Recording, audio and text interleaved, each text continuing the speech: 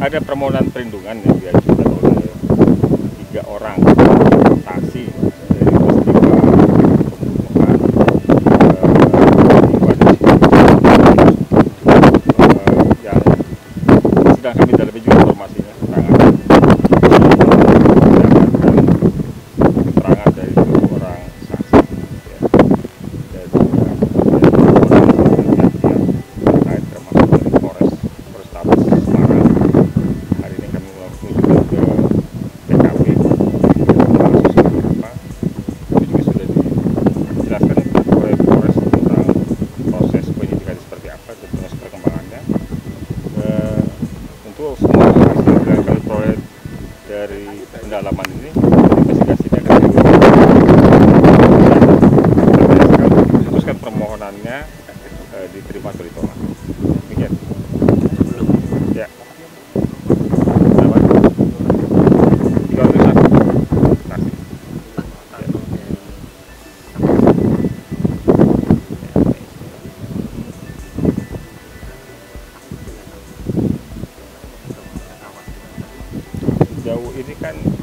Dari pelaku yang teridentifikasi maupun tertangkap. Artinya pelaku itu ketahuan di siapa. Dan kalau pelaku juga kemudian merasa khawatir atas kesaksian yang disampaikan oleh para saksi ini, biasanya pelaku melakukan sesuatu mengancam keselamatan diri dan tersangka. Jadi kekhawatiran itu yang mendorong para saksi ini mengajukan permohonan perlindungan LPSK.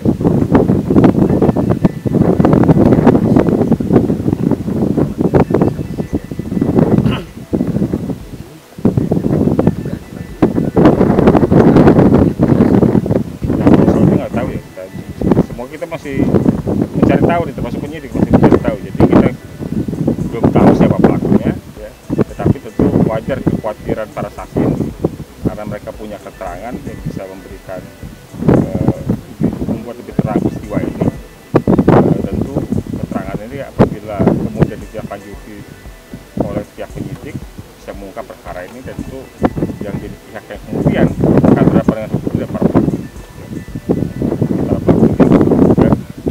asumsi dugaan potensi kekhawatiran dari para saksi terhadap para pelaku ini menurut kami ya wajar. Saya di Semarang.